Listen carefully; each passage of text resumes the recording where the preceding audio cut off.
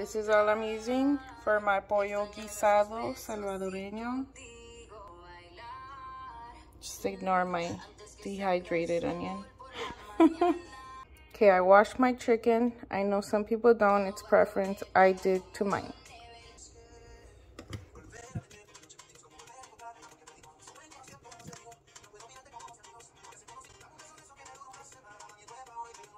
No, no, I just seasoned till, till I feel like it's enough.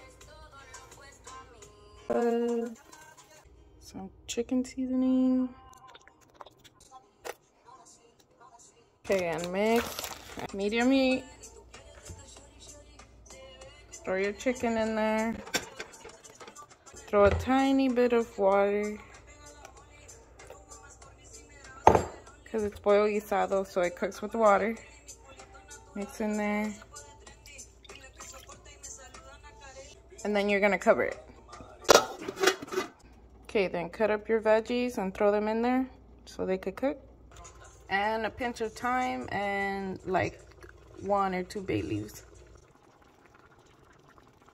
Thyme and two bay leaves. Stuff them in there somewhere.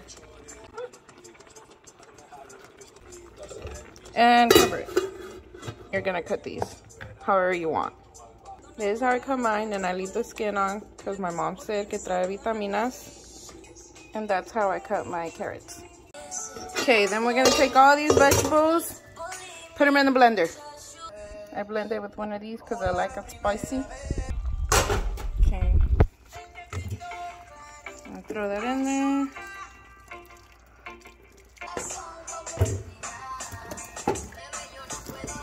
some of this, and some of this.